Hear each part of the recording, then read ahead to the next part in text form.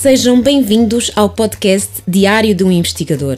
Em cada episódio iremos conversar com um investigador ou investigadora do Dinâmia 7 Isqueté sobre o seu trabalho de investigação. Vamos descobrir o que o inspira, o que o inquieta e perguntar de que forma as suas descobertas se traduzem no nosso dia a dia. Este é o quinto episódio do podcast Diário do Investigador e vamos conversar com o Gustavo Sugara, economista e investigador integrado no Dinâmia 7 Isqueté. O seu percurso de investigação começou no Brasil, passou por Moçambique e hoje divide-se entre Portugal e a Noruega, onde Gustavo fez um doutoramento em política social. Nesta trajetória, a temática do envelhecimento tem estado sempre presente.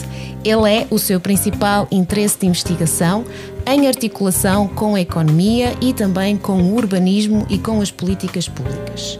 O Gustavo colabora regularmente com a Help Age Internacional e com o Instituto de Estudos Sociais e Económicos em Moçambique. Tem igualmente experiência como consultor para organizações internacionais, tais como o Banco Mundial e as Nações Unidas. Nesta conversa vamos descobrir de onde vem o seu interesse pelo envelhecimento e perceber por que se apresenta como o único economista que não vê a velhice como um problema. Olá, Gustavo, bom dia e bem-vindo aqui ao Diário de um Investigador. Obrigado, é um prazer. Eu, eu gostava que tu começasses por contar a história no seu início, ou seja, a tua formação inicial é economia, é? Uhum. Depois, mais tarde, do doutoramento, políticas sociais, não é? Certo. Uhum. Como é que chegaste a estas áreas? De onde é que vem esse interesse, essa vocação, entre aspas? Uhum. Como, é que, como é que começou? Como é que surgiu? Um, hum, então, obrigado de novo pelo convite. Um, eu te, fiz esse percurso mesmo, tenho uma licenciatura em Economia, estudei no Brasil, na Católica de São Paulo. Depois fiz meu mestrado cá no SCTE, em Economia e Políticas Públicas. E depois fiz meu doutoramento uh, na Noruega, na Universidade Metropolitana de Oslo, uh, em Políticas Sociais. Uh, eu sempre tive como o principal tema que eu tentei trazer comigo ao longo desse percurso a ideia ampla do envelhecimento. Um, desde o início. Desde o início, desde o início. Eu acho que a primeira vez que eu decido estudar o envelhecimento foi uh, para fazer uma coisa que nós temos, uh, tinha, pelo menos na licenciatura no Brasil, que era um trabalho de monografia da conclusão do no curso. Final, isso. É? Um, e eu escolhi o tema uh, do envelhecimento. E o envelhecimento foi na altura, e talvez ainda é hoje, um termo que eu herdei, né? Herdaste? Herdado, ele é um termo herdado. Assim? Ele, é, a minha mãe é investigadora, ela é psicóloga. Eu acho que é um duplo movimento. Uma é, eu sempre acompanhei o trabalho dela, porque é o trabalho da minha mãe, então ela é psicóloga e fazia investigação sobre envelhecimento, então é uma coisa que eu prestava atenção porque era o trabalho da minha mãe. E, e, eu acho que outra coisa que é bastante, que influenciou bastante, acho tanto ela quanto a mim, é que eu tenho uma avó que é bastante diferente do que se diz sobre o envelhecimento. Então ela é muito inspiradora e contradiz tudo que sempre ouvi falar no debate público, nas políticas públicas e sobre o que é a velhice e o envelhecimento. Então são essas duas coisas. Acho que a curiosidade acadêmica, que era o ofício da minha mãe, com uma inspiração da minha avó, e eu termino uma licenciatura em economia sem nunca ter tocado no tema do envelhecimento. Eu, como na altura acompanhava o trabalho da minha mãe, tinha a intuição de, de que isso era importante e que fazia falta para qualquer disciplina, né? Então tinha essa, essa vantagem também, que era um tema naturalmente intermulti ou transdisciplinar. Né? Então acho que foi o começo. E então decidiste fazer uhum. uh, a monografia, não é? Isso, o trabalho isso. final da licenciatura sobre. É. Aquilo, quando eu revisito aquele trabalho, não. eu lembro claramente que na altura eu fiz uma divisão clara entre o que era o envelhecimento dos números, então eu fiz uma abordagem demográfica com cortes etários hum. e depois outras possibilidades de envelhecimento. A minha, minha monografia na altura era basicamente dividida em duas, okay. que foi a forma como quando eu consegui lidar com aquilo naquela, naquela idade, com a maturidade que eu tinha. E pensando na realidade do Brasil nessa altura, não é? Foi, foi. Eu, eu, eu acho que o, o título da, da monografia é algo como uh, o perfil do idoso brasileiro. Trazer essa perspectiva do envelhecimento para além do que era o corte etário. Depois deste continuidade. Sim. Depois o, no mestrado. No mestrado que eu fiz cá, no mestrado em Economia e Políticas Públicas, a minha intenção inicial era dar continuidade a esse pl meu plano, que é um talvez meu plano de vida, de continuar a aproximar a disciplina da economia a essa outra grande disciplina que talvez é a gerontologia, eu tentar fazer essa conversa fluir melhor. Mas ali também tive outras oportunidades, também me acabaram por direcionar para o estudo do envelhecimento uh, nas cidades, envelhecimento urbano, que depois foi a coisa que mais ou menos guiou meu, minha, minha, minha produção e o meu percurso desde o mestrado até o doutoramento, foi mesmo o foco. Isso também aconteceu mais ou menos de forma casuística, e eu talvez possa dizer que também por herança, porque a minha mãe é psicóloga e, e investiga o envelhecimento, e o meu pai era arquiteto uh, e trabalhava com as questões do urbanismo. Mas isso foi um pouco. É, é casuístico que eu disse. Eu, eu, é, um, é um tema que eu sempre tive interesse, sempre tive gosto, tanto por arquitetura como uh, o tema mais amplo do urbanismo. Mas foi na, no, no Dinâmia, uh, num projeto do, do Pedro Costa sobre as cidades criativas, que eu tive a oportunidade também de olhar para a questão do urbanismo, yeah, da, da, da, criatividade urbana. E nesse percurso, que também não tinha uma clara ligação com, com o envelhecimento, o meu envelhecimento para mim sempre ficou lá, uh, guardado, não é? Como uma curiosidade. Hum. Uh, eu, no final do mestrado, disse: olha, se eu for começar agora um projeto de mestrado do zero a tentar fazer só economia e envelhecimento, eu vou dar maluco. Então resolvi conciliar o projeto de investigação com o tema do envelhecimento e, e tentei olhar a questão da criatividade urbana com o viés do envelhecimento. Então esse foi o, o próximo passo. Acho que muitos dos investigadores, todos nós, o currículo parece uma coisa muito linear, não é? Que as coisas são muito consequenciais e que são muito quase que planeadas, né? Eu fui sempre tentando conciliar as oportunidades que eu tinha do ponto de vista de trabalho, não é? São os temas que outros investigadores tinham interesse e precisavam de apoio, e ao lado sempre nutria aqui o meu, o meu interesse. E eu digo que isso também acontece depois no doutoramento. É, eu ganho uma bolsa de doutoramento num projeto que já era relativamente pré-formatado. Já relacionado com o envelhecimento? Já relacionado com o envelhecimento urbano. Urbano. É, mas eu lembro uh, claramente, quando eu, quando eu escrevi aquela candidatura, o processo mental que eu tinha é que ideia gira de projeto que vocês têm, mas eu tenho aqui essas ideias aqui que talvez encaixem Encaixa. melhor com, com o que se tem discutido sobre o envelhecimento por aí afora, não é? Um, eu, eu, acho que eles gostaram. e no final eu fiz um pouco, meu doutoramento foi sobre a questão dos serviços sociais ou do, da, da, das políticas sociais face ao envelhecimento urbano. Depois eu trabalhei especificamente sobre, sobre como isso acontece uh, em Oslo, na Noruega. Ok, aí o foco já era uh, Oslo. Já era Oslo e também esse, esse, esse foco bastante claro nas políticas sociais. Públicas, é, as eu, respostas. Exato, é? exato. E depois, desde lá, eu já tenho trabalhado bastante com esse. Um, esse, esse framework, eu sempre uhum. esqueço uma, uma palavra melhor, Uh, enquadramento, enquadramento, contexto. contexto, né?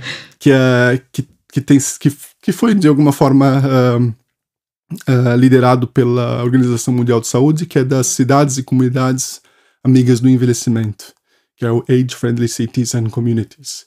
Então eu, eu discuti um pouco a, como, como é que esse framework, como é que esse enquadramento Uh, a discussão sobre ele aconteceu em Oslo. Eu acompanhei, eles estavam eles estavam a fazer a candidatura deles para fazer parte do, da rede do Age Friendly Cities and Communities. Uh, e eu, enfim, olhei um pouco, um, por um lado, pelas questões políticas, mas eu também sempre tinha um pouco um, a, a, a, curiosidade pela questão populacional, não é? A distribuição do espaço urbano, as desigualdades territoriais, ou seja, envelhecer naquele espaço relativamente amplo de Oslo, né? menor que Lisboa, obviamente, mas como não é a mesma coisa envelhecer uh, em Cascais ou em Lisboa, não é a mesma uhum. coisa envelhecer uh, no, no lado oeste e no lado este de Oslo. Então acho que essa é uma das coisas que para mim era importante olhar também.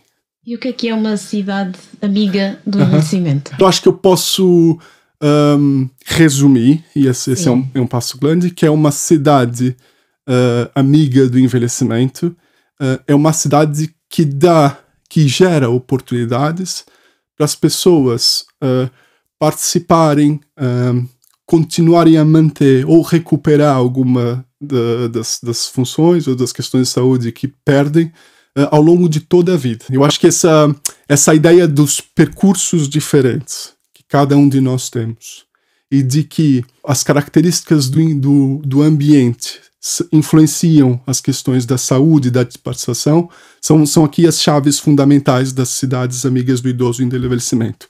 É reconhecer, por um lado, que o envelhecimento não é só um percurso biológico individual, ou seja, uh, o bem envelhecer ou o bom envelhecer não é uma responsabilidade só minha ou tua, Uh, mas também é uma responsabilidade, ou, ou, também é uma consequência do contexto das relações claro. e, obviamente, das políticas públicas, não é? E há pouco falaste de não é a mesma coisa envelhecer em Lisboa ou envelhecer em Cascais, porque também estás envolvido não é, num, num projeto sim, sim. precisamente sobre o envelhecimento em Cascais. Sim, não é? Queres falar um pouco sobre esse projeto e, uhum. e, as principais também conclusões, resultados a que tens chegado? Uhum. O projeto que nós estamos a fazer em Cascais é muito giro. Foi uma coincidência muito feliz de anseios que a Câmara Municipal, a equipa técnica, já tem nutrido há muito tempo. Com a disponibilidade nossa de ter formado essa equipa, que é uh, uma equipa do SCTE. É um, é um projeto uh, que é coordenado por mim, em, em co-coordenação com a professora Marta Matos, uh, do CIS. E é altamente multidisciplinar. Nenhum de nós, nenhum dos membros da equipa uh, tem um percurso igual uh, e, pelo contrário, nós temos percursos bastante diferentes. Isso foi um call é, que circulou por todas as universidades e que se pedia basicamente que se fizesse um diagnóstico, um estudo uma estratégia e um plano de ação para o envelhecimento e velhice, velhice e políticas sociais em Cascais. Quais é que têm sido as tuas principais estratégias para abordar este tema? Pensando mesmo em metodologias, como é que tens trabalhado este, quais têm sido as tuas ferramentas para trabalhar estes, estes temas? Eu acho que muitas das ferramentas que nós utilizamos agora em Cascais uh, deram muito certo uh, e eu acho que eu vou continuar a usar se eu tiver a oportunidade de fazer. Então, por exemplo, no caso de Cascais, isso foi instrumental, inclusive para essa perspectiva, não é, de mudar a relação com o envelhecimento.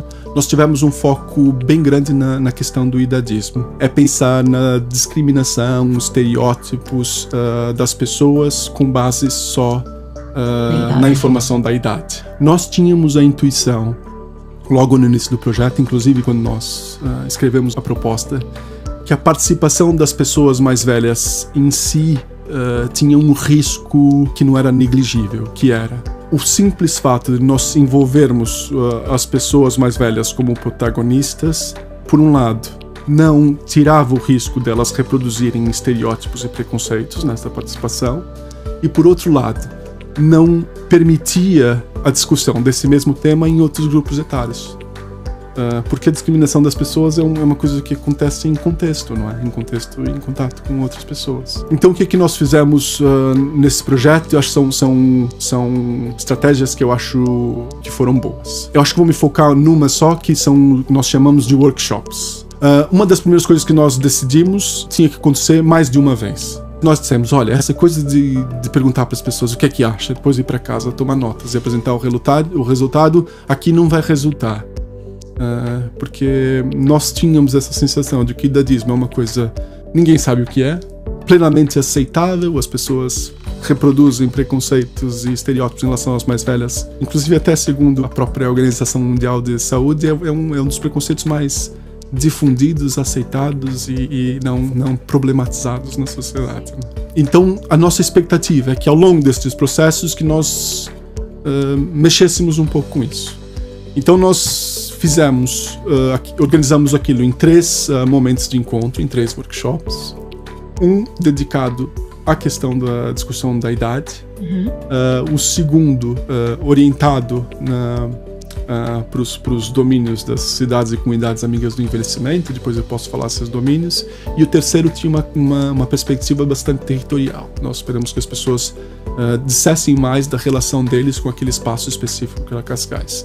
Acho que resultou muito bem. Uma coisa que foi gira, que nós uh, acho que herdamos e que já se faz, e acho que isso foi fantástico da, dos, dos, trabalhos multidisciplinares, acho que nós herdamos de, um, de uma tendência bastante forte que já na área da psicologia e na da arquitetura é que nós fizemos entre esses entre esses encontros nós fizemos produtos que são restituições, nós fizemos documentos bastante sintéticos e eu acho que, queríamos que eles fossem também visualmente bastante bem apelativos, que era mais ou menos um, um, o nosso report para os participantes. Era dizer, olha, uh, isso foi o que nós aprendemos de vocês da última discussão. O que é que vocês acham disso? É? E esse era o ponto de partida para cada, nova, esse, para cada novo encontro. Nós partíamos daquilo para o novo encontro e dizer: olha, isso foi, isso foi o que nós aprendemos de vocês, isso faz sentido. Vocês querem mudar de opinião, não é? Isso, aqui está aqui o que nós tá, faltou alguma coisa, não é? Uh, e depois uh, avançávamos, né? depois dessa, dessa, dessa discussão nós avançávamos. Outra coisa que, que também eu não tinha muita certeza que se era uma estratégia que, ia, que ia resultar foi que nós fizemos uh, pequenos inquéritos. E nós fizemos inquéritos com características longitudinais. Ou seja, nós conseguimos seguir cada um dos participantes ao longo de cada um dos workshops. Então nós perguntamos coisas do tipo, no primeiro workshop, você já sofreu uh, discriminação em face da sua idade? E depois uma outra pergunta, por exemplo, que era, já viu alguém ser vítima de preconceito contra a idade? E nós repetimos essas mesmas perguntas. Foi só no começo e no final. Mas depois uma coisa gira, que nós podemos ver, uh, acompanhar a, a, mudança dessa, dessas respostas. Não, é? não, não, não, nos diz muito, não é? Do, do, do ponto de vista quantitativo, não, nós não tínhamos essa, essa, esse objetivo. Mas as próprias perguntas que nós colocamos no inquérito, uh, e nós tivemos esse feedback depois, essa, essa resposta uh, dos participantes depois na própria Uh, nos próprios uh, workshops a dizer: olha, essas perguntas me deixaram irritado, essas perguntas me provocaram. Que nós fizemos um inquérito que não era simplesmente a dizer se gosta de. de se queria ter mais uh, paragens de autocarro ou bilhetes mais baratos para cinema, mas eram inquéritos que, que deixavam: olha, nós perguntávamos, por exemplo, com que idade as pessoas passam a ser velhas? No teu, no teu dia a dia. Uhum. E, e como começaste por dizer que o envelhecimento já é algo que te inquieta desde cedo, sim, não é? Um, tu, tu, estás sempre a pensar eh, em trabalho ou na temática do envelhecimento, por exemplo, quando estás em casa ou quando estás hum. com a família, tem, ou tens facilidade em fazer eh, o corte. Agora sou o Gustavo, cidadão, pai. Eu, eu acho que eu tenho, estou sempre a pensar, a pensar no envelhecimento por duas coisas. Uma, porque é um tema mesmo muito atual e aparece muito nas notícias e no, enfim, ele ele está tá sempre em algum lado. Uh, talvez nem sempre do, do da, melhor forma. da melhor forma, não é? Outra, porque, por exemplo, nos projetos do projeto como o de Cascais e outros que eu tenho participado, essa perspectiva aplicada, por exemplo, que nós temos na estratégia, um, envolve muitas coisas que muitos debates estão acontecendo hoje, não é? Por exemplo, o debate das últimas do, do, último ano, mas, ou, ou mais até, mas das últimas semanas é o da habitação, não é? Sim. Também o é para o tema do envelhecimento e nós estamos convencidíssimos, e, e, e, os nossos workshops já tinham apontado isso, que a questão da habitação é fundamental também para o envelhecimento. Nesse ato normal, que muitas pessoas talvez tenham de ouvir o rádio de manhã e acompanhar, acompanhar notícias, isso, por exemplo, já sempre uh, nos, me desperta para coisas. Oh, isso, isso talvez é importante nós, nós refletirmos no, no nosso, nosso trabalho, não é? Outra coisa também que me ocupa muito, e é, e é uma coisa que é, é até aflitivo, que é a parte difícil de desligar, é que eu também tenho uma outra agenda que é constante ao longo da vida, que é um pouco que eu já disse, de, que é a tentativa de reaproximar uh, a economia do, do envelhecimento. E isso é um. Uh, acho que é um projeto que. não sei quando eu tenho tempo. vou ter condições efetivamente de escrever mesmo sobre isso e, e, e aprofundar o, uh, minha, as minhas inquietações, mas essa é a minha grande projeto. curiosidade, é o grande projeto. É. E eu, eu, eu, acho que eu estava dizendo lá no começo. A minha vez do, do investigador, inclusive na minha rotina diária, é conciliar essas essas ideias e inquietações que eu tenho em projetos longos com o, com o que eu tenho à mão para trabalhar, não é? Que são as oportunidades de projetos, são as, uh, as questões mais concretas que nós precisamos resolver hoje, não é? Essa, essa falta de espaço e tempo para se focar num tema só é uma das coisas que, que nos afligem a todos. Não é? A gente tem muitas mais ideias e, e planos e intenções e ver coisas giras. Eu, eu acho que eh, uma coisa gira que eu ainda consigo manter, e eu também vejo em, em muitas crianças, é aquela curiosidade em muitas coisas, né? Sim. Em perceber como é que funciona, perceber por que, que aquilo não, uh, uh, não muda, o que, quais são os mecanismos aí que. Uh, como é que entender melhor Sim, sim, sim. E continuas a ter essas inquietações. Continuo a ter essas inquietações, sim, sim, sim. E pensando uh, no, naquele que tem sido o teu percurso e, e que é bastante interessante, porque uhum. também tens experiências de realidades muito diferentes, não é? Uhum. De, de, países muito diferentes. Uh, pensando nos vários projetos em que tens estado uh, envolvido, eu sei que esta pergunta também daria, daria um outro, outro, outro episódio, não é? Uhum. Mas quais é que tu destacarias como sendo os principais resultados que, que as investigações em que tens estado envolvido têm mostrado hum. e, acima de tudo, também que impactos uh, uh, é, que elas, é que esses resultados podem ter uh, no dia a dia de, de todos nós, não é? Uhum. porque este, este projeto, por exemplo, não é, de, de, de Cascais foi um call, foi um concurso, sim, não é? Sim. Pedido por uma Câmara Municipal, não é? uhum. é? Portanto, à partida espera-se também que saia daqui ou que, que, que o projeto tenha um, um, um, impacto mais, mais Sim, concreto, concreto não é? Que, que, quais são os principais resultados que a tua investigação tem, eh, tem chegado e como é, que, como é que isso pode mudar, esses resultados podem mudar o nosso dia a dia? É, o principal resultado eu acho que é o que eu ainda não tenho, espero um dia vir a ter, que é mesmo essa questão de essa, essa intenção de, de, de, fazer com que a economia seja um espaço menos árido uh, para se pensar o envelhecimento. Um, eu, eu acho que o, o envelhecimento em geral é um tema particularmente cheio de tabus. Temos muito receio em tocar em temas que são fundamentais para se pensar envelhecimento, são as questões do seu próprio envelhecimento, das relações com o corpo, das relações com a sexualidade, das relações familiares. Mas para os economistas de todas as espécies, eu costumo meu, meu, meu cartão de visitas, meu, meu punchline para me apresentar às, às pessoas é: eu sou o único economista vivo uh, que não vê a velhice como um envelhecimento, a velhice como um problema. Mas é, é muito, muito, muito difícil fazer essa discussão, essa e essa reflexão de dentro da economia. Isso talvez é o, é o impacto que eu espero ter no longo prazo nessa, quando, quando as oportunidades da vida me proporcionarem, se, se, se assim for. Mas eu acho que eu tive outras coisas que eu fiquei muito orgulhoso de ter participado e ter contribuído. Os projetos que eu tive em Moçambique, uh, eu tive a oportunidade de, de viver e trabalhar em Moçambique por dois anos e pouco. E, eu, quando mudei para Moçambique, eu, eu, levei comigo a minha, a minha inquietação pelos temas do envelhecimento. Para as pessoas que conhecem Moçambique, provavelmente vão dar risada agora.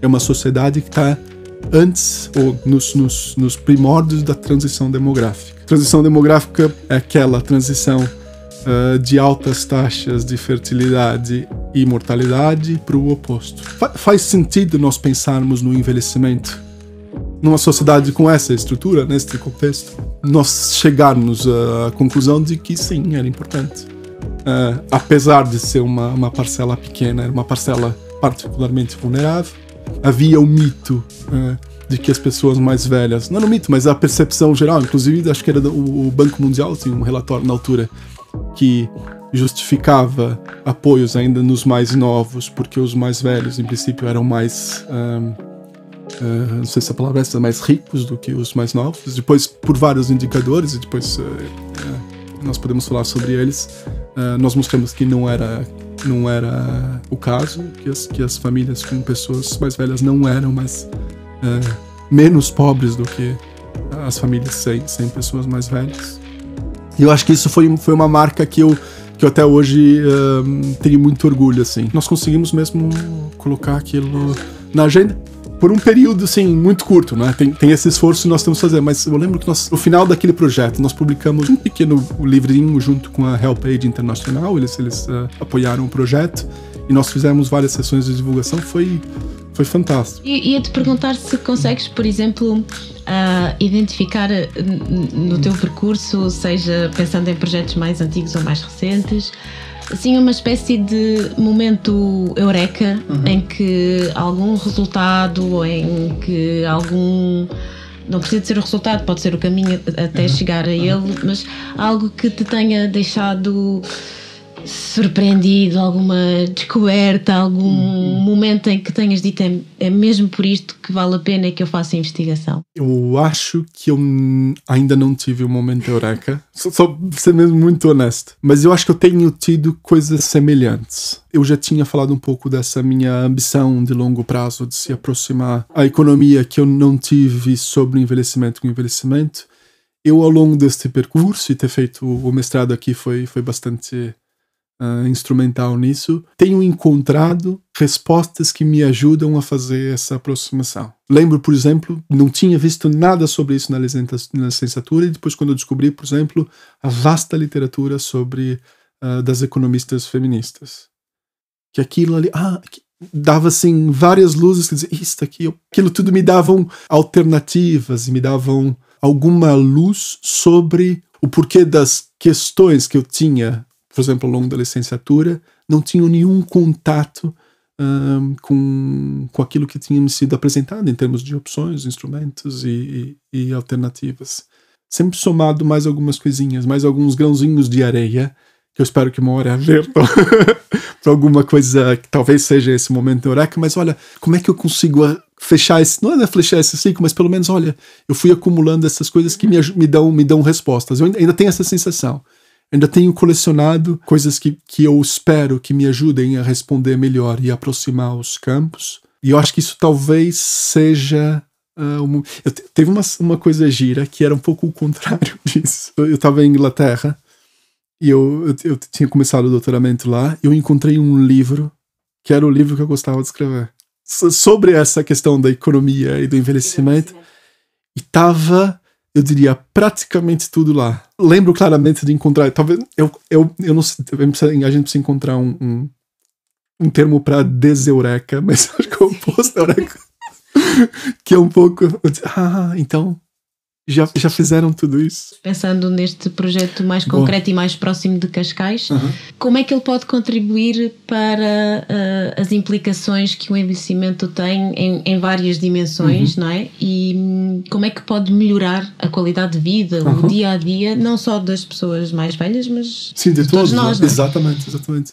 Eu acho que há um potencial enorme que está para ser libertado, não é? Quando as pessoas passam a ter mais consciência, por exemplo, das questões como finitude da vida uh, e de como se priori prioriza e organiza relações de trabalho, relações pessoais, como essas coisas se juntam. Uhum. Jogadas a cara, por exemplo, quando, quando aparece uma doença ou quando há uma, uh, uma questão clara de dependência na família, nós, nós muitas vezes somos obrigados a, a repensar prioridades, não é? O, o, que, o que é que o que é que nós fazemos com esse tempo que nós é a única coisa que temos. E eu acho que essa essa esse percurso que nós temos feito em Cascais, eu tenho alguma esperança que Cascais passe a ser pioneiro nisso e que é aquele espaço, aquele contexto, espero eu que passe a ser um espaço um ambiente onde as pessoas, todas as pessoas, possam envelhecer bem. Todas as pessoas olhem para o envelhecimento como uma conquista.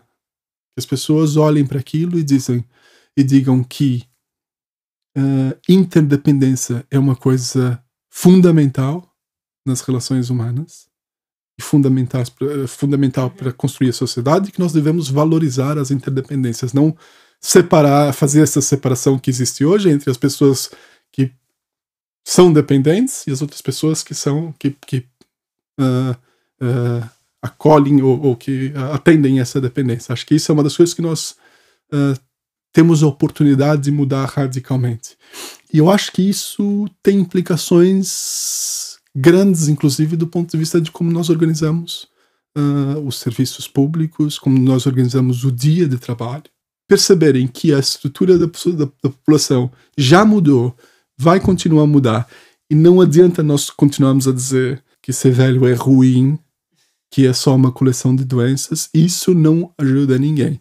E eu ainda vejo, infelizmente, como sendo um tema bastante difícil das pessoas tocarem. Porque depois, obviamente, há questões duras de lidar com a velhice em algumas fases complicadas, cuidados paliativos, um, as questões de, como, de quer dizer, para mim hoje em dia uh, as pessoas acham natural, por exemplo, higiene que eu faço dos, dos bebês e dos meus filhos pequenos, mas já é um tabu bastante grande a higiene do, da outra ponta da vida, não é? Uh, e é isso, não, isso não pode ser de alguma forma trabalhado do ponto de vista social, com ferramentas, com formação, mas que as pessoas passem a ter oportunidade de fazer parte desse cuidado. Quer dizer, tem, tem uma relação diferente. Quer dizer, eu, eu, eu costumava dizer para os amigos meus que era, que era uma coisa bastante até, até boba, mas saber que uma criança sua fez cocô é desagradável, porque tem que trocar uma fralda, limpar uma bunda, não é? Mas por outro lado, eu também sei que aquele rapaz ou aquela rapariga não tem mais dor na barriga e está bem, pode dormir bem. É, obviamente, todos nós precisamos de cuidado ao longo da vida. Uma vez passei por uma cirurgia e depois estava acamado e precisava que as pessoas me ajudassem. Isso acontece com todos nós. Eu acho que essa a primazia da questão do cuidado ao longo da vida e depois de nós, do espaço e uns com, uns com os outros, é uma, é, um, é uma força que está ali a borbulhar para ser, para ser liberta, não é? Eu acho que esse é o, era o ponto que eu queria chegar. Muito obrigada, Gustavo. Obrigado obrigada pela oportunidade. Obrigada pelo tempo e pelos teres ajudado aqui a desconstruir também muito destes estereótipos uhum que, que possamos ter sobre o envelhecimento. Foi um gosto. Sim, obrigado, eu gostei muito. Nesta conversa descobrimos que o envelhecimento urbano é um tema que o Gustavo herdou. A mãe, psicóloga, fazia investigação sobre o envelhecimento. O pai é arquiteto, daí a ligação ao urbanismo. E há ainda a avó, que contradiz tudo o que habitualmente se associa ao envelhecimento. Por isso, desde a licenciatura, que o envelhecimento é o seu foco de interesse. O seu projeto de vida é, por um lado, reaproximar a economia do envelhecimento e, por outro, refundar a relação da sociedade com o processo de envelhecimento e a velhice. Ao longo da conversa, aprendemos também o que é o idadismo e o que são as cidades amigas do envelhecimento. E percebemos que este processo é uma consequência do contexto em que vivemos e das políticas públicas. No próximo episódio vamos estar à conversa com Catarina Mateus, que nos vai falar sobre as áreas rurais e explicar como é que o terceiro setor e a economia social podem funcionar como alternativa ao modelo de desenvolvimento capitalista. Por isso, não percam!